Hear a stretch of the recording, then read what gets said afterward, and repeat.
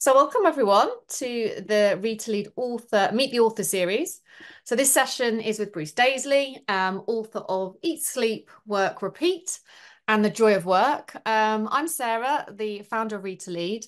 I'm all about connecting people through learning together. We use brilliant books, um, such as Bruce's, uh, powerful conversations um, to ultimately become better leaders in life and business. Uh, we've got a global community and we also work with corporate teams to inspire curious minds and collaborative cultures. Uh, so that's a bit about me and us. Um, Bruce, I'm going to have a go at you. Um, so you're a writer, consultant, uh, one of the most, uh, the UK's most influential voices on the intersection of work, of work and life. You've done a lot of research. I've read some of your papers. You've been featured in uh, publications from uh, Wall Street Journal, Harvard Business Review, The Telegraph. Uh, your podcast, really interesting, guys. Check that out. Eat, Sleep, Work, Repeat is an Apple number one business podcast, best uh, best business podcast. Uh, you were ex vice president of Twitter, so you've got that inside uh, behind the scenes experience of culture, which was it'd be interesting to hear a bit more about. Uh, you wrote The Joy of Work. Um, I think it's your first book, um, which is a Sunday Times bestseller, and you wrote Eat, Sleep, Work, Repeat, and recently, recently Fortitude. That's the same book. It's worth it's worth pointing out. If oh, is it? Haven't bought them. Eat, Sleep, Work, Repeat is the same book as oh. The Joy of Work. It's the American edition. The only right. difference is I took out a joke about E17. That is the only difference between them. There's slightly fewer U's, and I took out they had no idea who E17 was. Yes. And while in many ways there's a case to try and convert them. It just didn't feel like the forum to do it. Right. Yeah. That's brilliant. Well, actually, we we we looked them up. Uh, we looked at book summaries on Blinkist, and they did pull out for very different points. They came across a few different yeah. books, but actually, okay. it's a summary of the same book. Then, okay, interesting. Okay, Thank you. Uh, yeah, and Fortitude, brilliant, uh, great new book. So maybe we'll get you back and talk about that one because, um, yeah, I've recently read that one. That's um, going uh, going down a storm. So thanks, Bruce. Anyway, thank you for joining us. Really appreciate your time and sharing your insight. Yeah, thank thank you. Look, very happy to come along and and chat to everyone. Um, I tend to put a lot of the stuff these days that I do in free stuff that I do. So in the podcast or in uh, my newsletter, which is um, which is called Make Work Better, and, and you sort of can, can find that by, just by searching, uh, just just by searching my name or Make Work Better, you'll find that. And I, I, tend to put most of the stuff in there really because I guess the challenge for writing about work is that there's so much happening and so much evolving. It kind mm. of feels simultaneously like anything you might write is dated, and mm. secondly, like, look, this most of the themes are actually far more enduring than we might imagine. So uh, most of the stuff I do is just, you know, I have a constant debate. Shall I, shall I write another book? Big question mm-hmm. in my head: Do people really read books these days? Um, and I certainly know that the big pile of books I've got next to my bed is only getting bigger rather than rather than smaller. And so, you know, so I just put most of the stuff I do in that free newsletter. Yeah. It's a really interesting point because actually, um, Read to Lead is all about um, bite-sized learning, and based on the fact that yeah, people have books, pile of books beside their bed, never read them. So we mm. often start with Blinkist, and you know, there's lots of those apps, isn't there, that condense them. And I think it's a great way to give you a summary that gets you into the book or refreshes on a book or whatnot. Mm. Um, and then you use I, I often find that people are using books more as a research uh, research tool, so mm. kind of go back and read bits and bobs uh, if they want the detail. Um, but actually, we had last month we had um, uh, Daniel Priestley who wrote Key Person of Influence, and and he said actually write a book because it doesn't really matter if anyone reads a book. It's a great promotional tool, isn't it? It's a great way of reaching your audience and getting that getting out there and getting in front of people um, and driving them to your newsletters, etc. Um, anyway, moving on from that. So thank you. Um, I, I, that was actually one of my first questions was um there's so much change, isn't there, all the time? I mean, these books wrote back in 2020, and there's been a lot of change since then because of the whole pandemic, obviously. You know, have you seen?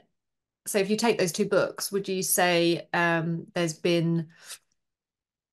Is it growing? Is it changing in any way? Um, obviously, remote working and global teams has is increased significantly. Have you seen certain shifts and changes that you would put in the book now if you were to write it? Yeah, I think the, the big debate really is about how we use the office. And, and I guess work is built on these three sort of um, these big uh, edifices that we we don't we didn't even notice were there till they weren't there. So you know the office, calendars, and uh, and messages, message systems, and we only noticed that these were even like negotiable part of work when one of them wasn't there, and we're like, oh right, you know, it was for so long. If one of your friends said they had a new job, you wouldn't say how many days in the office and what hours, and um, and you wouldn't say where are you doing the work. It'd just be wherever they were interviewed. That was be where they turned up. It was only when that wasn't the case that we realised, oh right, all of that was a variable. That was we thought it was this immovable thing that was non-negotiable, and it was a variable. And and to me, that forces us to reflect on the other two immovable things: the way we use messages, the way we use meetings, because they're far more um, fluid than we we might imagine. But I guess you know the big debate really is uh, for any of us is how can you build cohesive cultures? How can mm. you build that um, that sort of dynamic connection, that buzz that good cultures have? How can you do it in different ways? And you definitely can do it in different ways. And I think the um, the sort of the debate, the challenge is how you set about trying to create that. So I think that would be the consideration. Mm. I don't know if I'll write a book again. I did a slides deck just before Christmas. I, I sort of put a slides deck out of of research of thoughts and I got probably three times as many people who downloaded and looked at that as uh, as read my last book. So you know, big, sort of mm. big volumes there. So it sort of it makes you think. Well, look, if the objective really is just to reflect on things, to put a debate out, maybe I'll just put a free slide deck out to mm-hmm. uh, do things on on that. The mm. E17 joke. Um, someone uh, asked in the comments, what was the E17 joke? So the E17 joke, you're probably consider uh, a very weak joke where it was it said um, many artists uh, establish their name with their first album. It's the second album that establishes their reputation, and then mm. I listed uh, like Radiohead's second album and Kanye West's second album and Prince's second album or something like that, and then E17's second album. Now it was clearly a gag because E17 wouldn't be regarded as one of the greatest albums of all time, except by me. So uh, it was it that was your music weak. choice that an insight into your. I just I just love hip hop music, but okay. um, but the uh, it was a weak gag, and the Americans felt that it didn't really move the narrative on. Mm. They didn't land the point. Didn't resonate with them. It, it, it was going to be too laboured to try and explain who E17 was. And you could have used that in always, social media, Cam. they, they, don't always love um, uh, non-obvious gags. I say that mm. as someone who is married to an American. Fair enough. Um, okay, back on track from E17. So are you are you seeing and are you are you hearing and would you say that people are uh, more disconnected or or less cohesive um, as a result in you know in in the workplace as a result of changing work practices, um, changing communications technology. I would would you I'd say that? To know what everyone else thinks. I'd love to. I'd mm-hmm. love you know uh, you know whether sort of yes or no, whether people think culture feels slightly different. Um, uh, I'd, I'd love to sort of get a sense in the in the chat of what everyone else thinks. Broadly, I would say yeah, should we should we see? What, yeah, go on. Forget What what what do people think? Are you just a yes or no? Less cohesive, uh, more cohesive, I guess. What's the yes or no there? Yeah. Mm. I mean, Matt, you've just gone into a business now, working um, as an MD of a business, so that's what you're seeing and experiencing. Mm. Less, yeah. Mm. Yeah, less cohesive. Yeah. yeah. Not by much. Here's and here's the really interesting thing right now. So um, I guess you know if you were going to be a traditionalist, you'd you'd have this idea in your head that oh, if we only went back to the way that things were, then things would be the way that things were, and things don't work like that. I um, broadly, if you look at the data, two thirds of people, two thirds of chief chief execs believe that we're going to end up back in the office four or five days a week. And 90% of workers say we don't want to go back to that. And it's broadly because people have felt that they've got their life in more balance. You know, I've seen, I'd be interested in people's perspective. But I've seen the narrative about burnout has declined a little over the last couple of years. People feel like their lives in a bit more order. They feel like they feel less overwhelmed than they were pre-pandemic and and definitely mid-pandemic. They people are sort of saying that they are in a, a slightly better equilibrium. Um, I saw a beautiful thing actually, which which was there's probably no one more accomplished in the world of television than a woman called Shonda Rhimes, who's responsible for TV like Bridgerton, but How to Get Away with Murder, Scandal, Grey's Anatomy, like this incredible showrunner producer in American TV. And she did this commencement speech, which where she said, "Every time you see me succeeding, it means I'm failing somewhere else." And it's mm. like, wow, this this woman is like, you know, the most accomplished person. How on earth is she failing? She said, every time you see me collecting an award, I wasn't at a parent evening. Every time you see me turning up for the last uh, recording of Sandra O oh on Grey's Anatomy, it's because I didn't go to my kids' mm. uh, kids' school play. And she says, every time I'm succeeding in one thing, I'm failing somewhere else. But you can't see that. And mm. so she constantly felt like she was balancing these things and she was failing more than she was succeeding. What, what I loved about that is that, firstly, it illustrates that the challenges of getting this stuff right go to everyone, right? Everyone's sort of struggling, that thinking they're not getting things right. But what flexible working has allowed is for us to feel like I'm failing at a bit less. Right, that's right. It's so popular. It's, we're failing at a bit less. No, then the second question is the the chat was filled with people saying their team feels less cohesive, and and I guess the challenge for all of us is to say, well, do do groups of people who don't see each other all the time feel less bonded? Not always, you know, not always. You you might you might meet your old school friends, your old college friends, people you go to sport with, family, you know. You might have reunions with certain groups of people, and you hit it off, and it's back to what it was so it's not necessarily frequency of time together that matters.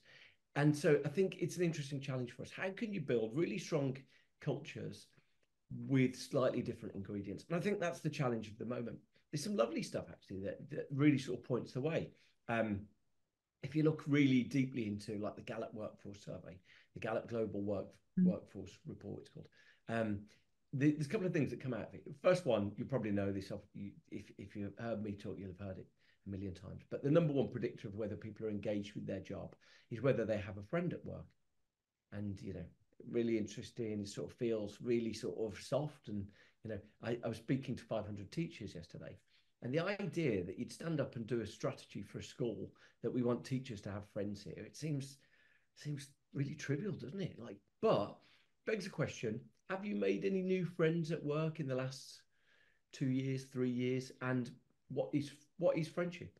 And what mm-hmm. I always say here, that one thing that helps me sort of navigate this, I, I there's some lovely work. I, I put this in Fortitude, but it's by um, uh, trigger warning. I'm going to mention poetry.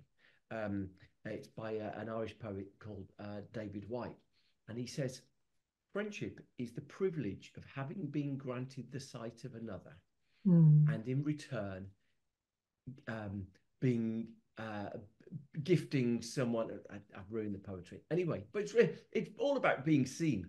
Friendship mm. is about feeling like someone understands you, mm. feeling like you've got someone you can tell something about your life and they understand you. Why would that be a big predictor at work? We just sometimes want someone to moan to, someone to connect with. But the, so so that feeling seen by a friend is really important. But actually, if you look into that Gallup workforce survey stuff, um, when when you look at people who are engaged with their job, uh, people who say they've had direct feedback from their boss in the last week, 80% of them are engaged with their job. And that's being seen as well, isn't it? All mm-hmm. of work is about feeling seen. And I guess, you know, the challenge of the moment is how can you make people feel seen? Maybe when they can't be literally seen all of the time, or the only way you can see them is by summoning them to yet another video call. And it just begs really interesting questions. I think about how we use our face to face time a bit differently can we, you know, whether we spend a day a week, a day a month, a day a year together, can we make sure that that time we spend together looks a bit different? Because what a lot of people tell me is they say, oh, my days in the office I'm on back to back video calls.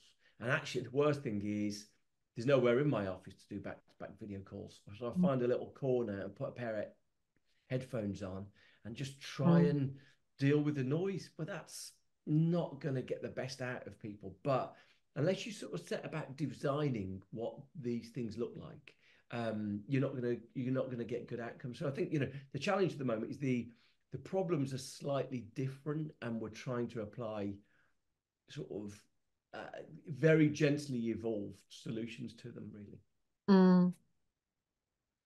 it's an interesting one, isn't it? Um, quality over quantity of interactions um, and friends as well, and. Mm and actually whether it, it forces that a bit more to reassess that. Um, there's yeah. some comments in here, people look saying when they are together, it's quite intense.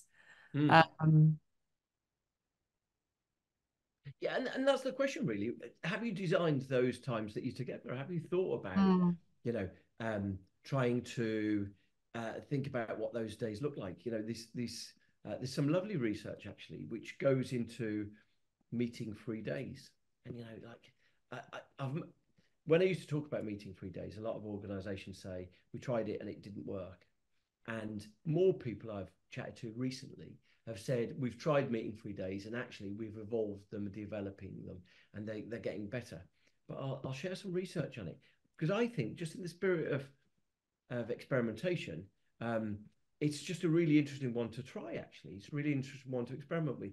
Now, you know, for me, the really the real interest for meeting free days is thinking about do you have one of the days that you're in the office as a meeting free day? And I guess that that's the spirit of what the research says in this. I'll put the I'll put the research there. Um, there's two things I've put there. One which is the the research deck I put out at the end of last year that's had sort of tens of thousands of of, of um, downloads. And then the separate thing is that just research about meeting free days. What I love about it is just um it just starts a discussion, a debate really about, you know, if things are a bit different, if things don't feel the same, have have we tried doing something different? Have we tried mm-hmm. an experiment to do things differently? You know, and I think if we took an equivalent of other industries that were having problems, you know, with supply chains or delivery, or if they didn't try things, if they hit a problem but then didn't try intentional different experiments, you'd probably say, well, it seems like this is an obvious solution staring in the face. What have you seen then that you've uh, from companies recently where they are getting people together? What are they doing then that's working well? Yes, someone uh, there says, I would never have loads of video calls if I was in the office. It's pointless. I try not to have many calls when I'm in the office and mm. for real. Absolutely. Unfortunately, not everyone is gifted that freedom. And I think, but that's the uh, that's the most critical thing. Look, what I've seen recently is when I used to mention to organisations about meeting free days, most of them said it wouldn't work here. And actually, mm. when you look into organisations where it doesn't work, it's principally the senior leadership that don't respect it. Um, they need to get meeting in on Wednesday, and so they put a meeting in everyone's calendar, and they go just this one time. And what it does, it creates a norm. It creates yeah. uh, comes top down, doesn't it? Yeah. That's right. That's right. And so, uh, but I have seen more re- organisations recently that have been sticking to it. Um, what else? what else are they doing? What else are you seeing? Um, yeah, the I, I think you know more organisations trying to on the days that people in the office trying to coordinate those days. Um, mm-hmm. That seems to have a big impact for team cohesion. Broadly, what you get is you get the organizations who are closer to an equilibrium right now, where they say this is kind of working. Normally, they've got a couple of anchor days or three anchor days where they're in the office. Three might seem a lot depends on the scale of the organization i find. The bigger of the organization the more anchor days they kind of need mm. they, they, say they need. Small organizations i meet a lot of people who say we go in the office once a week we go in the office twice a week we coordinate we we we spend that time together and it works perfectly well. So broadly it seems like the bigger the organization the more the more face-to-face time certainly senior leaders are asking for. Um, yeah yeah, so you know, a, a strong spirit of of experimentation, I think, is probably the best thing right now. Mm, mm. And just going back to your point on burnout, because you said that, you, that you're seeing that, because I've been reading a lot of stuff and and seeing it seems like it's increasing. Certainly with businesses that I'm working with, or people are reporting it. Um, because of that blurring the lines when you are working at home. Um, sort of work ekes into the evening. So what um what advice do you have for people that and what have you seen that's had the biggest impact on on combating burnout or, or kind of in fostering that that well-being yeah. um the, the stuff i saw uh, a couple of years ago sort of when we were just we were still coming to terms with how this worked the burnout figures i saw there were higher than what we're seeing now now that might be right that might mm. be wrong i'm, I'm not i'm not 100% sure you, you never there's no single authoritative source, so you have to mm. get sort of dipstick on this. But burnout levels seem to be a lower consideration now than they were before. Whether that's just because we've got more equilibrium, broadly, the the stats about hybrid working working from home is that on average people save about an hour a day, 70 minutes a day, if they work from home. And so, you know, it's pretty. And then you quickly fill it with other stuff, though, right? Uh, yeah, it depends. It, based on the data, people work an extra 30 minutes, but then they get 40 minutes back for the for their own lives. So, you know, it, it tends to be something of a win-win. Um, and, you know, it's obviously considerably cheaper. The, the organizations that I've seen are struggling who have got office mandates and they ask people to come into the office and they say people come in, they spend all day on video calls. No one seems to notice whether they've come in or not mm. they start thinking, what's the point of me going in? What what is the point of me going to sit and have really bad calls on the office Wi-Fi? What's the point of me doing it? And you you end up with a sort of sense of disaffection. The organisations that seem to be getting it right are the ones where people recognise there's a reason why Tuesday looks different or Wednesday looks different, and that's why they're there.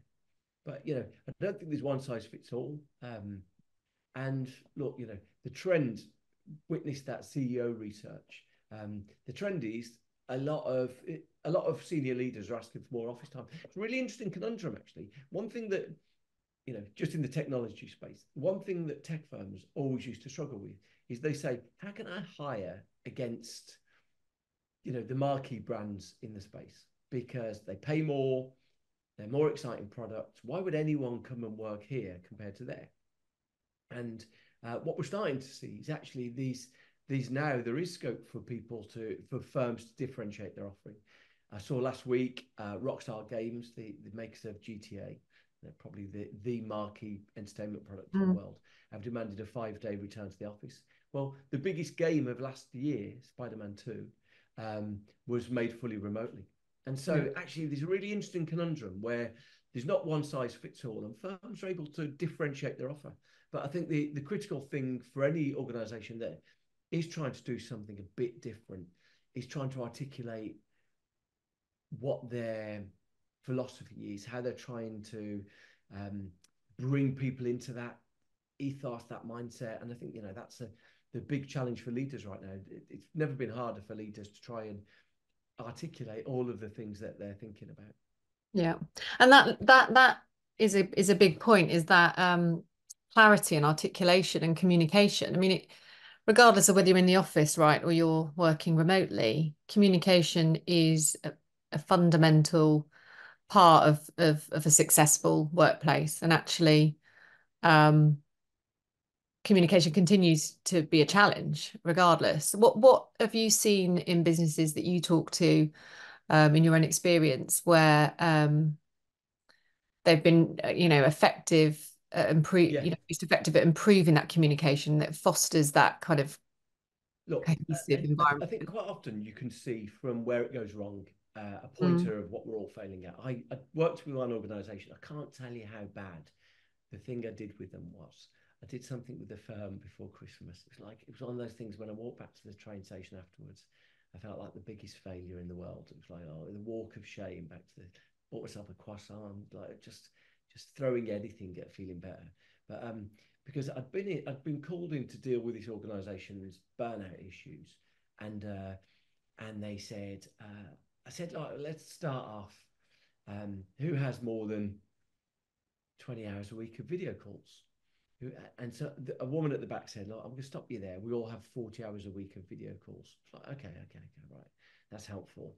And uh, I said, right, well, let's you know think about what that's about. And she said, Look, I'm going to stop you. we're not going to do any less than 40 hours a week of video calls. It's like, okay, okay. So we've got this burnout problem. We're not going to change anything.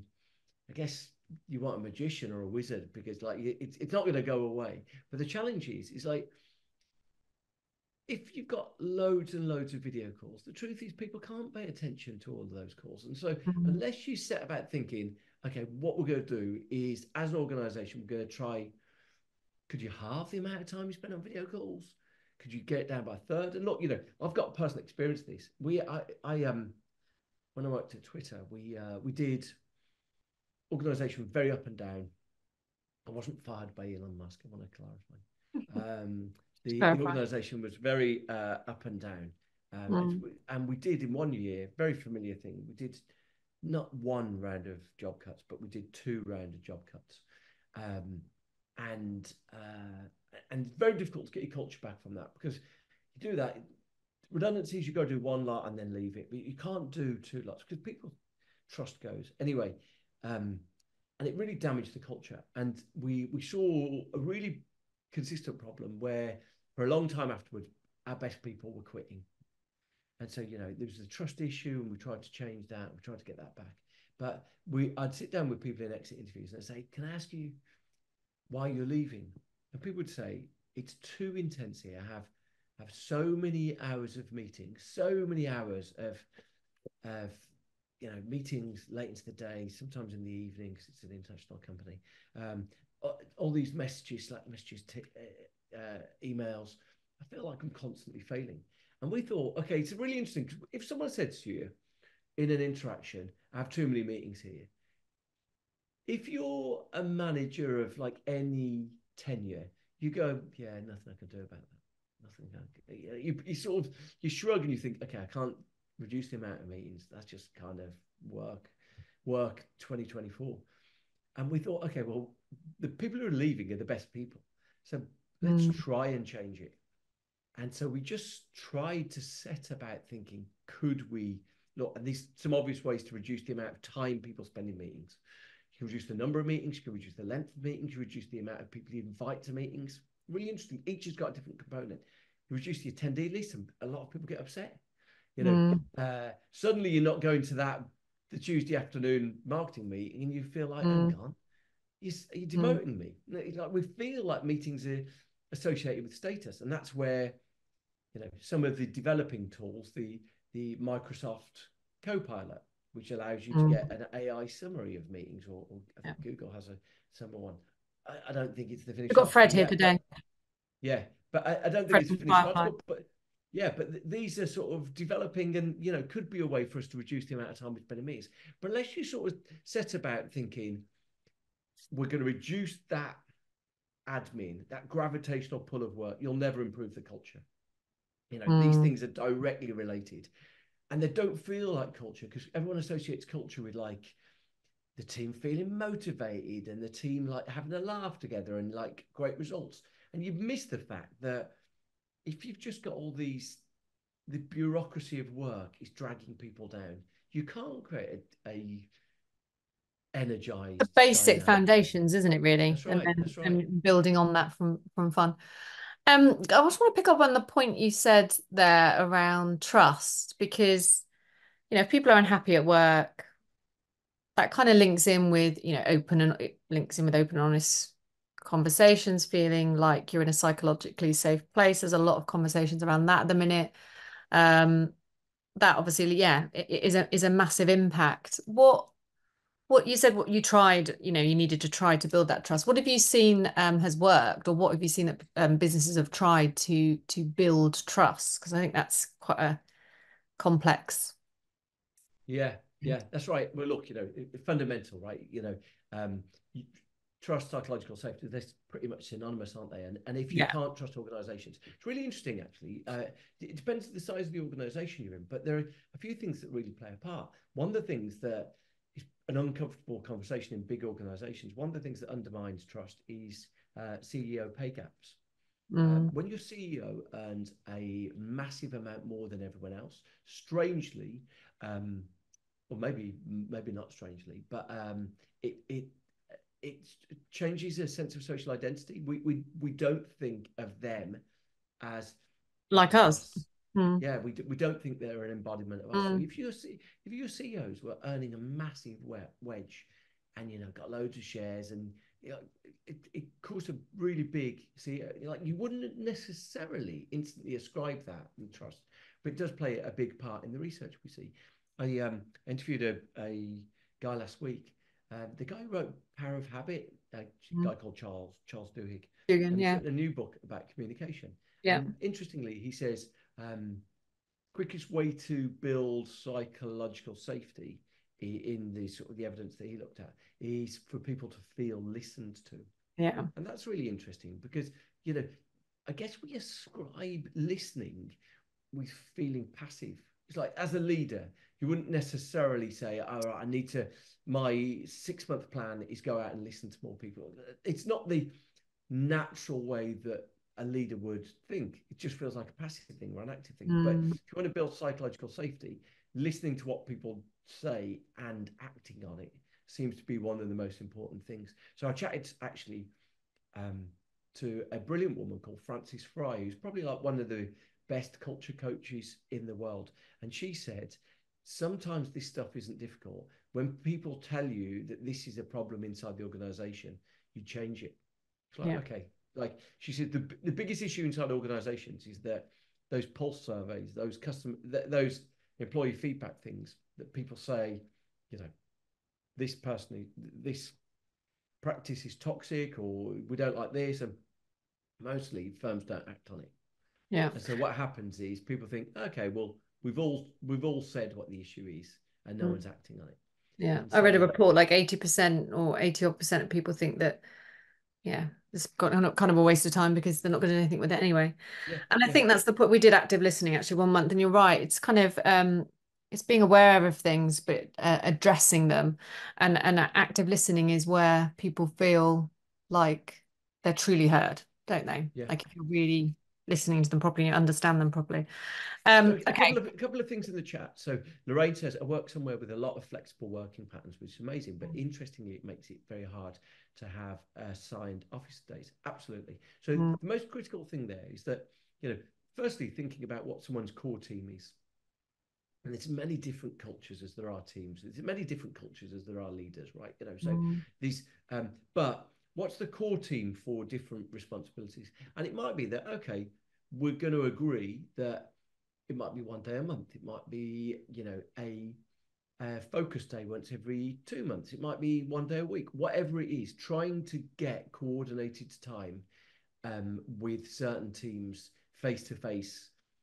And it, it doesn't have to be every week, but there seems to be some strong benefit in in getting recharging that connection with face to face things. And look, you know, the evidence I'm going to give for you that for that is that we all know um, that face to face events have just got more energy to them. They they often have more micro interactions that build sort of a sense that we know other people. Um, they're not they're not um, they're not absolutely essential, but they do a really big job in building trust. To to your last sort of point there, really. Okay, thank you. I we've got five, just five minutes left. Um, uh, let's open up the floor. Let's see if we've got any questions from anyone that's come along. Steve, straight up there with your virtual hand. Go on, Steve.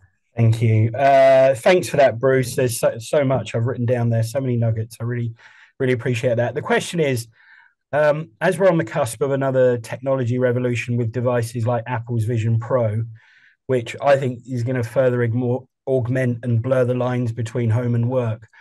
Are you fearful for the future of work, or are you hopeful that we as humans will find a way to balance both the needs of people and the opportunity that technology provides?